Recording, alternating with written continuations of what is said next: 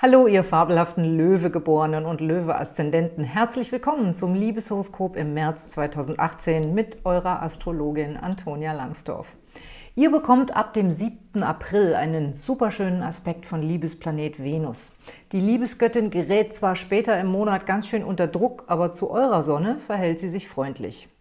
Manche Löwen haben sich bei mir beklagt, dass es im Moment gar nicht so gut für sie läuft. Das kann zum Beispiel daran liegen, dass ihr im Horoskop Planeten im Krebs oder in der Waage habt, die jetzt stressige Aspekte empfangen. In dem Fall gönnt euch doch einfach mal eine Horoskopberatung bei mir.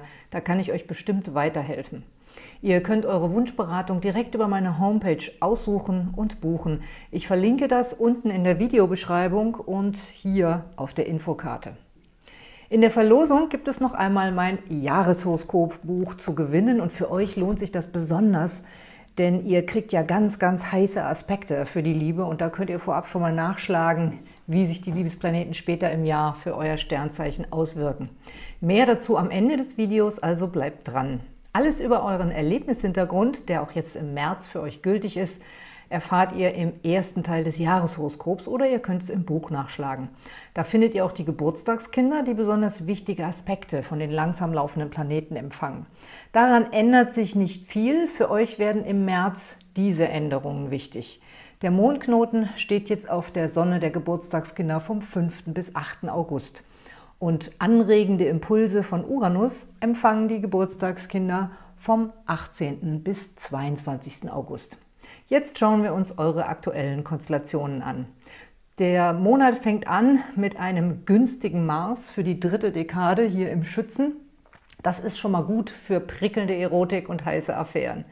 Die Venus, die Sonne und der Merkur stehen in den Fischen in eurem achten Haus der Verbindlichkeiten. Ihr habt wahrscheinlich die Sehnsucht danach, mit eurem festen Partner gemeinsam etwas auf die Beine zu stellen, aber es kann auch bei einer Träumerei und Schwärmerei bleiben. Der Vollmond am 2. März wirft ein Licht auf diese Sehnsüchte und vielleicht müsst ihr einfach mal einen Kassensturz machen, ob ihr euch gewisse Dinge leisten könnt und wollt.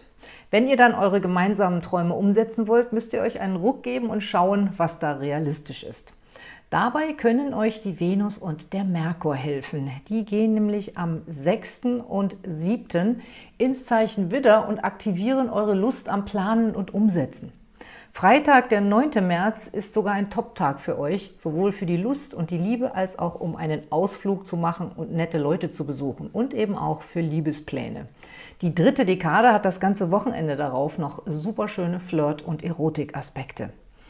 Ab dem 11. März beginnt die kritische Phase, die für viele auch zu Liebesproblemen führt. Ihr seid davon nicht so sehr betroffen, aber für euch könnte das zum Beispiel sein, dass ihr Stress im Job habt und das beeinträchtigt vielleicht euer Privatleben. Denn die Aspekte zeigen in den Bereich des Jobs bei euch. Vielleicht habt ihr auch etwas Tolles vor und kommt nun nicht dazu, weil ihr für andere Überstunden schieben müsst. Oder euer Partner ist vielleicht ein Widder, Krebs, Waage oder Steinbock und die sind in der zweiten Monatshälfte teilweise ungenießbar, weil sie die Stressaspekte direkt auf ihre Sternzeichen kriegen. Am besten, ihr nehmt das alles nicht persönlich, weil es wahrscheinlich wirklich nicht an euch liegt. Vielleicht könnt ihr ja für ein bisschen Humor und Entspannung sorgen und ein paar angenehme Unternehmungen anregen, wenn euer Partner gestresst ist.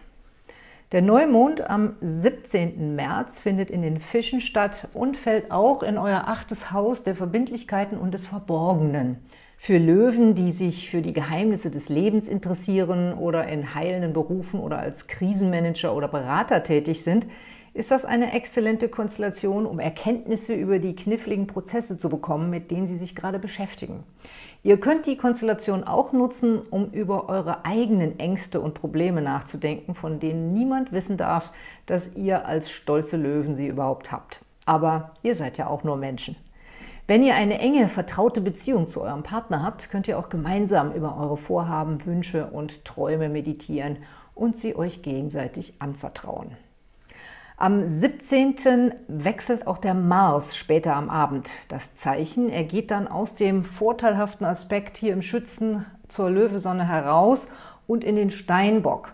Und dann wird es ein bisschen zäher. Vor allem im Job kann es dann zu nervigen Situationen kommen, bei denen es ein Tauziehen darum gibt, welche Vorhaben umgesetzt werden oder sogar um die gesamte Firmenphilosophie.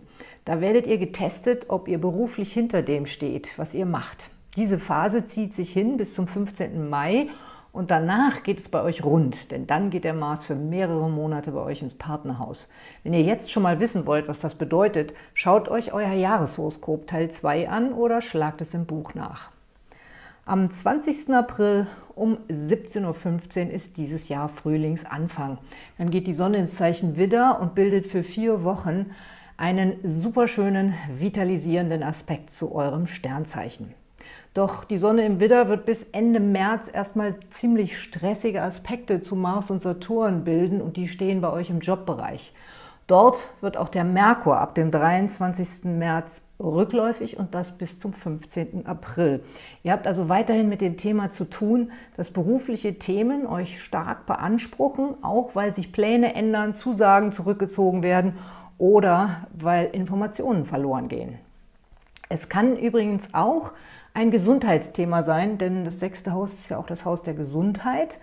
Äh, Mars, Saturn, das kann Probleme mit den Zähnen anzeigen. Und ihr stellt möglicherweise fest, dass ihr mal zum Zahnarzt gehen solltet.